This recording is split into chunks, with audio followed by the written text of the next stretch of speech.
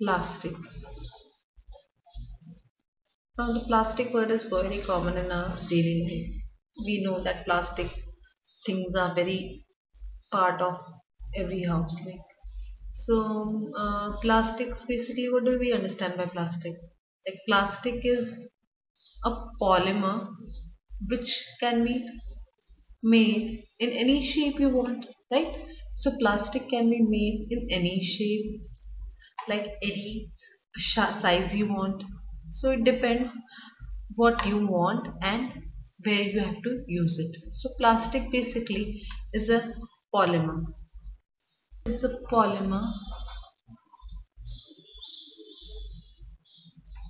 which can be set in any desired shape and size. So it's a polymeric material and can be set in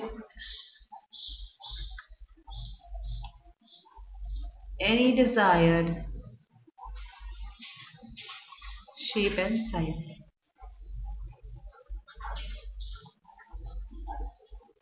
Nowadays we talk it's a plastic world. Means what? Like everything generally the things are used of made by man. That is they are made by man. They are not made by nature. So plastic can also be said to be material which is made by man. Okay. So it is a type of synthetic polymer.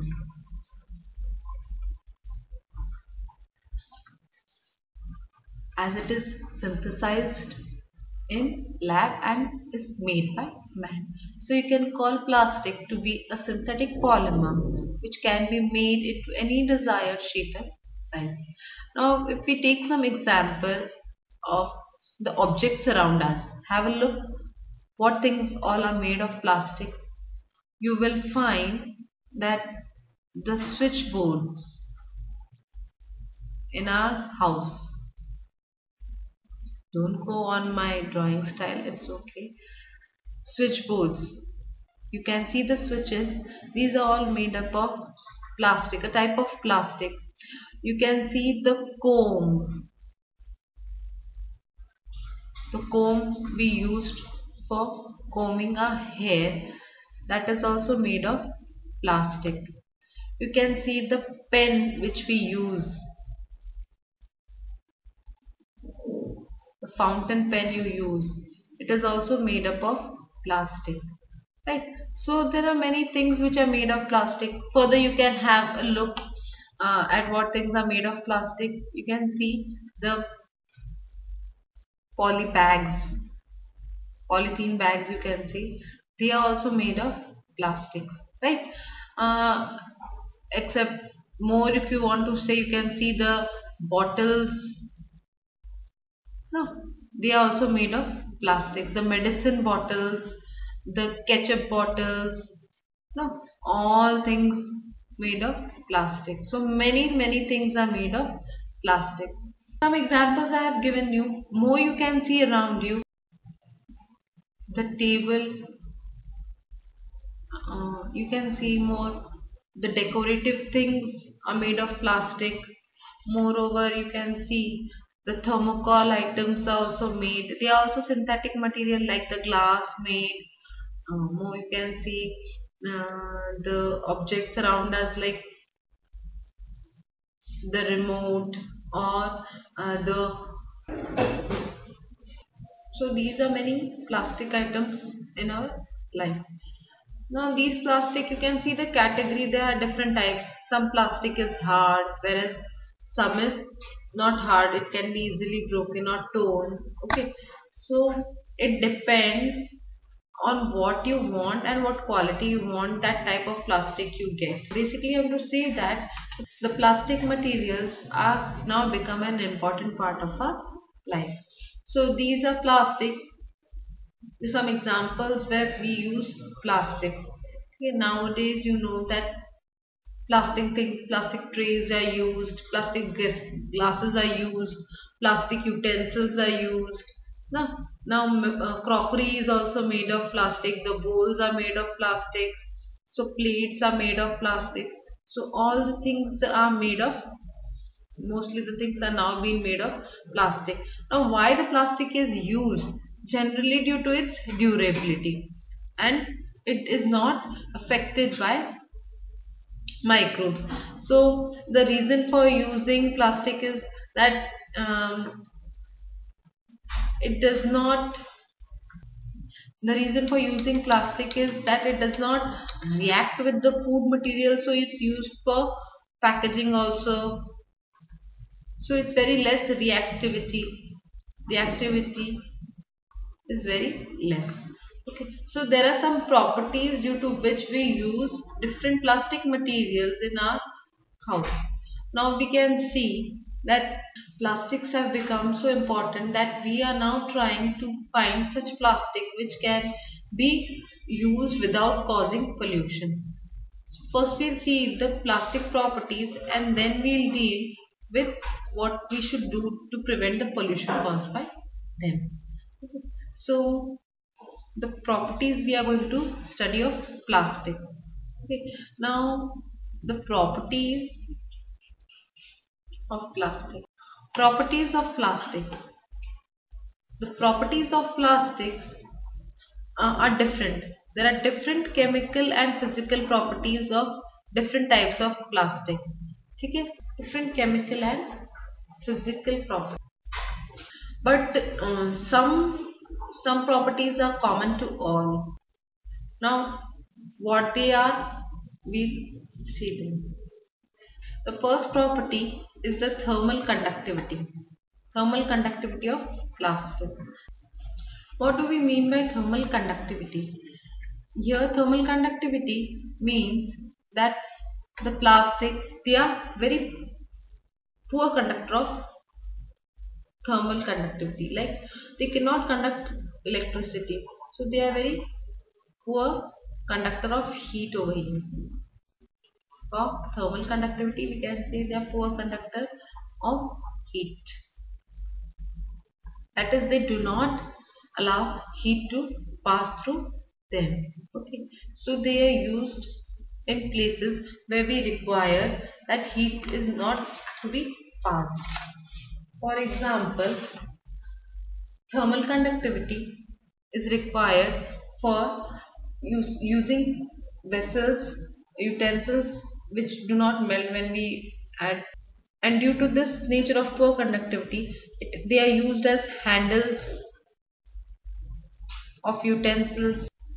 Then they are used for making switches. Okay. more they are used for making um, containers. Okay. they are also used for making the core of refrigerators that is made of foam.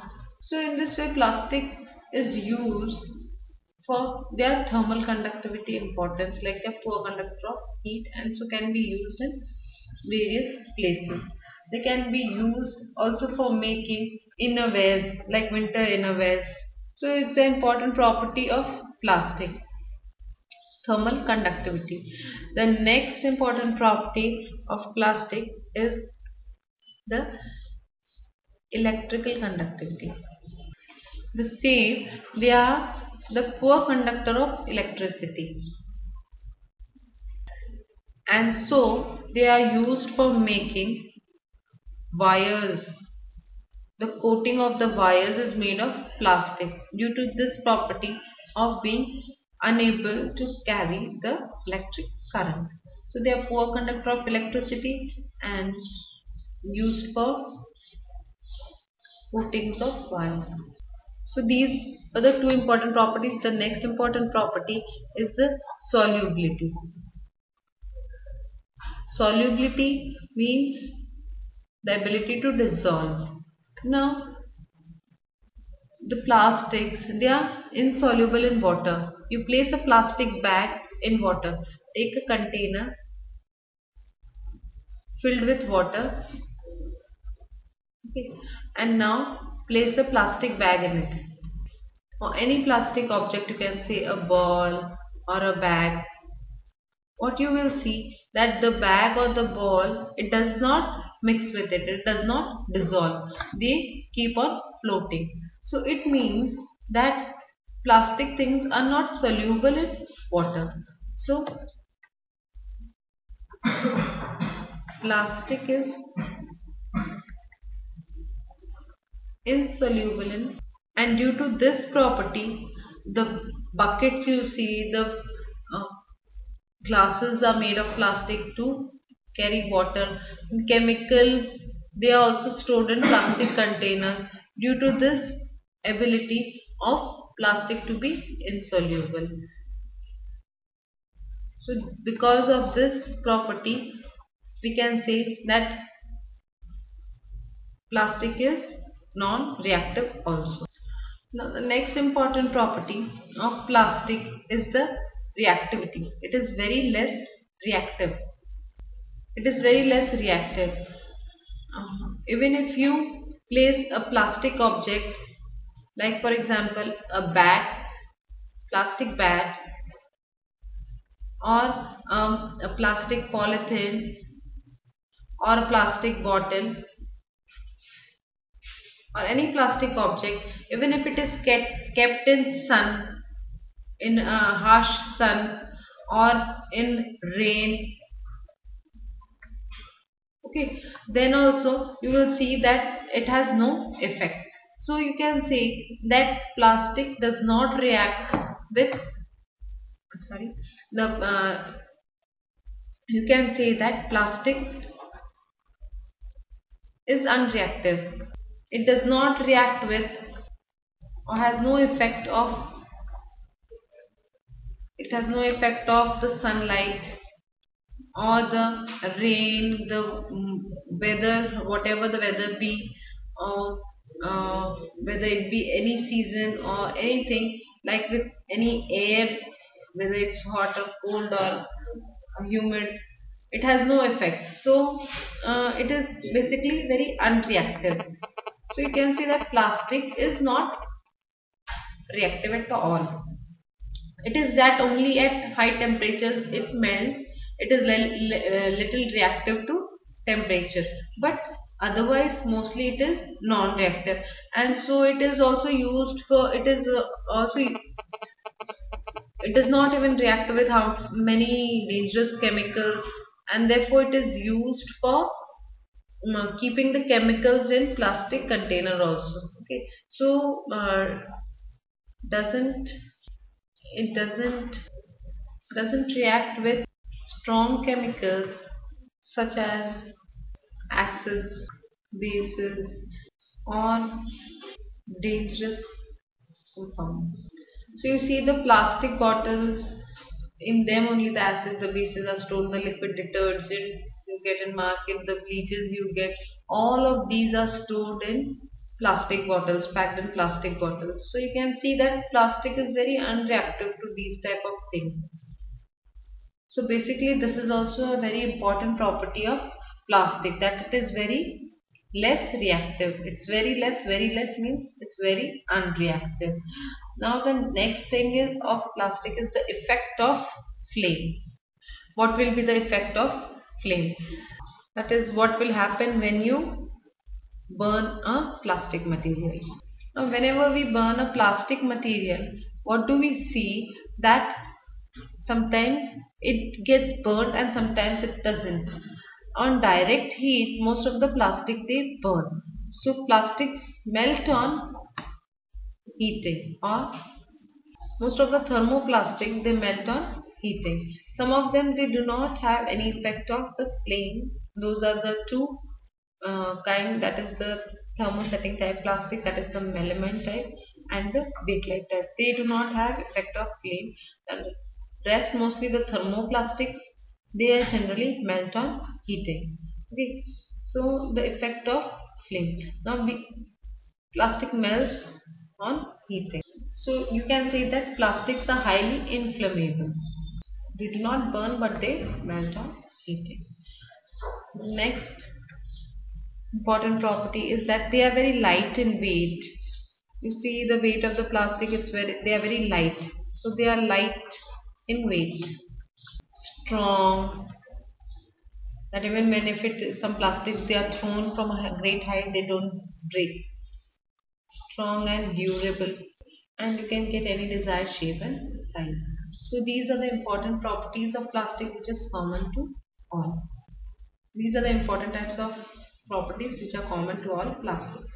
Now we will deal with the types of plastic. Broadly plastics are divided into two categories, two major categories that is the thermosetting plastics and the thermoplastic.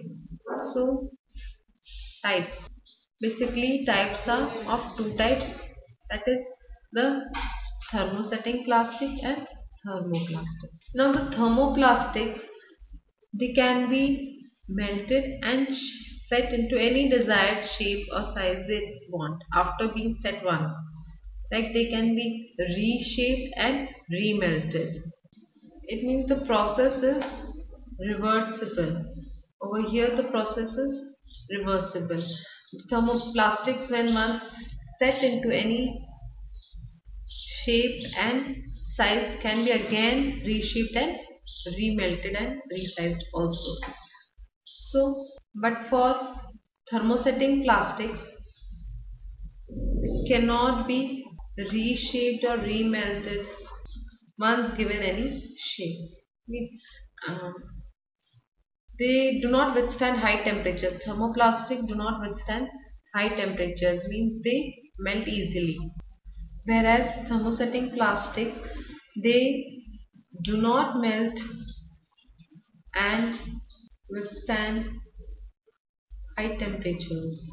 So they go they go a reversible here the thermoplastics they go a reversible change. Whereas for thermosetting plastic the change is permanent.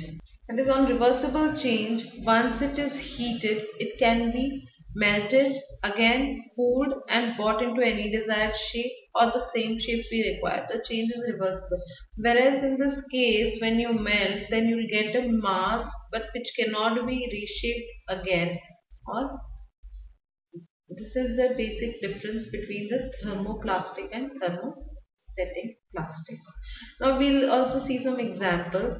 Like for examples of thermoplastics is polythene, PVC that is polyvinyl chloride PVC. Then you can see polystyrene, polypropylene, polypropylene.